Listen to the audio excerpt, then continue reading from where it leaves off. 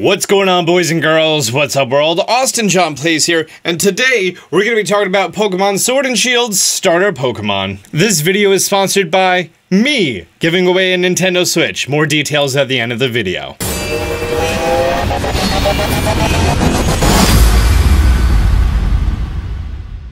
Pokemon Sword and Shield is slated to come out this year, 2019, at an unreleased date at this time, and I'm very excited for it. And I now realize that I'm wearing all Zelda gear, because I'm recording this Sunday, which is the two-year anniversary of Switch and Breath of the Wild, and um, deal with it. We're talking about Pokemon. In particularly, I want to talk about these starters here, Grookey, Scorbunny, and Sobble. When these three were first revealed, the immediate reaction I saw all over my Twitter was people absolutely hating them because of their very, very simple, very animated designs, which is a wrong reason to not like them.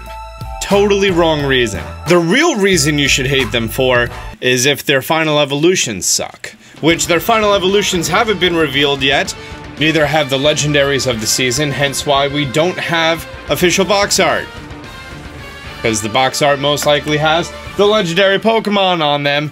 So we don't know what the box is gonna look like yet, that makes sense. People keep asking me which starter I'm going to choose, but I never pick a starter until I see what their final evolution looks like. Last thing I want is like if I pick Sobble because he looks adorable and clueless, and because he's essentially the new surprised Pikachu meme, and then he evolves into something like I don't know, Primarina? I want nothing to do with that. That's just me personally. You might like Primarina, that's totally your prerogative, go for it. Scorbunny seems one of the most fun and agile. It's it's a fire type, and usually whenever they have a thinner Pokemon, that means that it's going to be a faster Pokemon, as opposed to the bulkier ones which tend to be slower. Grookey looks a little bit bulkier. He's a grass monkey with a giant beak on him I mean, I'm I know it's not a beak. I'm just gonna call it a beak. And then he also takes this twig out and he bangs rocks with it, which is a pretty neat thing. I immediately love him a hundred times more than Pansage. Pansage, the grass monkey that we already had. Hate this thing. I do not like this thing. It looks like it has a broccoli on his head. But Grookey is adorable and lovable. Look at those little feet. Look at those little feet. Oh, I think the only thing I'm not crazy about is the orange accents like it just kind of throws it uh, off a little bit, in my opinion at least. Now, say for example, these orange pieces, they weren't orange. Oh, I don't like it in yellow. Green looks weird. Okay, I now understand why they chose orange. What if we just brought it down so it was closer to what brown is? I definitely don't like dark brown, but like, if we try to make it similar to the ears. See, I like that Grookey. Now it's just brown and green. Granted, it might be the color scheme that it is because of its final evolution, which may involve something orange. We don't know. The orange may protrude to be a lot more relevant. It's also weird that these appear orange and these appear brown. That's fine. Let's talk about viability. Now, through the generations, most people prefer fire types. And that's for actually a very few very good reasons. If we talk about Gen 1, Bulbasaur versus Charmander versus Squirtle. Bulbasaur is the far superior in terms of easeability through the game. That's because in Red and Blue you didn't have access to a good grass type early in the game, until later iterations when Yellow came out, and then the remakes, etc. So not having a good grass type going into Brock and then Misty, having Bulbasaur on your team made your life a lot easier. Squirtle made Brock easier, but not Misty. And Charmander made it more difficult for both of them, since you would have no Pokemon with any super effective moves going against either of them. Could you get Oddish before Misty? Even in Gen 1 you could get yourself an Oddish, which made it a little bit easier. So it was always seen that Charmander was the most difficult Pokemon to play through, and that's why it's seen as like the far superior starter because it basically means you're choosing hard for the beginning of the game and you're you're prepared to grind a lot. Bulbasaur made it very easy, especially with Leech Seed. That was a fantastic move, especially in Gen 1. The problem with water types as the starter is that water types are some of the most plentiful Pokemon. There's currently 133 water type Pokemon and it's the most common of the 18 types. More than flying, more than normal. Look at all these water Pokemon. Dang, son. So when it came to water types, you literally had a plethora to choose from. Granted, there are some exceptions if you plan ahead as far as the legendaries go, like if we're talking about Omega Ruby Alpha Sapphire, there's a ground slash ground fire type, and there's a water type, so the grass type, Sceptile, is probably the most viable. I think that's how you say his name, I'm not too sure. Now you'll probably notice that of all of the areas in Omega Ruby Alpha Sapphire, there's a lot of water. In fact, 7.8 too much water. However, if we look at our map of Scotland slash England here, by the way, this is the UK flipped upside down, uh, it's pretty much confirmed at this point. You have very small streams throughout here, you have a few lakes here, one lake here, and then ocean on the outside but it seems like you're going to be at large points that there's no access to fresh running water. It's not like you're going through the ocean. In fact, by this map, it looks like you're not really going to be doing any ocean traveling whatsoever.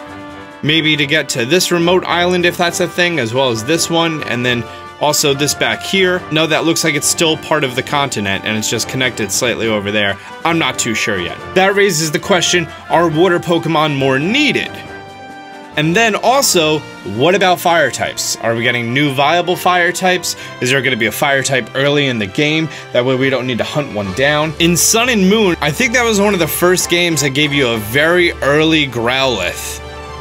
I think like right before going into your first trial against the Totem Raticate, you can get yourself a Growlithe, which that's a super early time to get one. The other problem with grass types is what they're actually effective against. If I have a grass type, I'm using that against rock Pokemon, ground Pokemon, water Pokemon, mostly. At the same time, I usually like to have an electric on my team, and the electric can handle the water, and then I usually have a water type on my team, and that handles the ground rock situation just fine.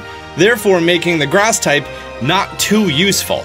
Granted, the grass types are really great usually for using Toxic, and mixing it with leech seed and getting a nice stally route going on. But other than that, I don't think I really need one on the team, especially when you want to dive into your team having like really cool weird stuff like dragons and fairies. Dragons and fairies and swords and shields, medieval times Pokemon returns. So as many, many people ask me, am I going Grookey Gang Am I going Sobble Squad or am I going people who like Scorbunny? I'm not disclosing that information at this time only because we don't know what the final forms look like. We don't know what the types look like. We don't know what the area looks like. We don't know what gyms we're going to be up against in what specific order if we're going to need to resupplement the team. But I'm going to do research on it. I'm going to do research on those Pokemon that we're going to encounter, how you're going to be able to supplement the team. All I know is, as adorable as Grookey is, I'm probably not picking him if there's a cool electric type that I want on my team. I really liked Alolan Raichu. Getting Psychic and Electric, it was so weird, but so fun. So fun. Nintendo did a tweet poll of their favorite, of everyone's favorite starter. By the way, they retweeted that you could pre-order at Best Buy. Do not pre-order yet. Do not pre-order these games. Do not pre-order them at GameStop, at Best Buy, at Amazon, or anything yet, because there's probably going to be a dope steelbook. Granted, if you're only getting one copy, yeah, pre-order it, that's fine. But if you're holding out for the steelbook, which I sure as heck am, don't pre-order yet. Pre-orders are a trap. Actually, if you're pre-ordering from Amazon to get the, uh, I think they still do 10% off, then that's fine, because you could always cancel it before the steelbook is announced. And if you don't nab the steelbook, then that's fine. You already have your pre-order set, so no harm, no foul. You could also cancel it at GameStop, but then you have to drive over there. It's a pain in the butt. Nintendo of America, who's going to be your starter on the new adventure? Big Chungus. I've only had Sobble for 10 minutes, but if anything happened to him, I would kill everyone in the room and then myself. Brooklyn Nine-Nine. Boom, found it. Okay, it was official Pokemon Twitter page, and Nintendo retweeted it. Sobble with 38% Scorbunny 1% less, and then Grookey is 25%. That's that's to be expected. So it seems like it's up against Scorbunny and Sobble, which makes a lot of sense for all the reasons that I mentioned, especially if you want to have electric type, you usually don't have a grass type. These things add up. So I'm gonna do more research about the area about the types, and about Space Chicken. I'm probably looking the wrong way. About Space Chicken. I, I got too lazy to actually pull up the official thing, so I just pulled up my video, which I literally talked about trying to find Space Chicken. People are saying these are Meltan. I don't believe it. These look like little aliens. And look at that tail. You're telling me that tail is not from outer space? That is a tail from outer space. It is a space chicken. But guys, I'm gonna have a poll probably right there. Boop. Boop. Somewhere around there.